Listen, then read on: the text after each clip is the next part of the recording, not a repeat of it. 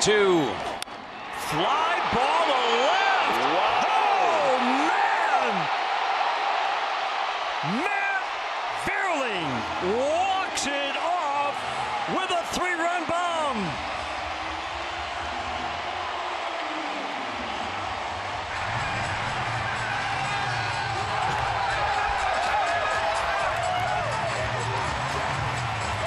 And on Joe Carter Day at the ballpark, it seems like that's the only appropriate way you could possibly end this game.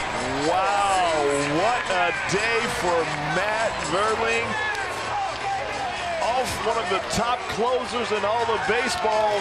The Motor City uniforms are looking pretty good for the Tigers right now.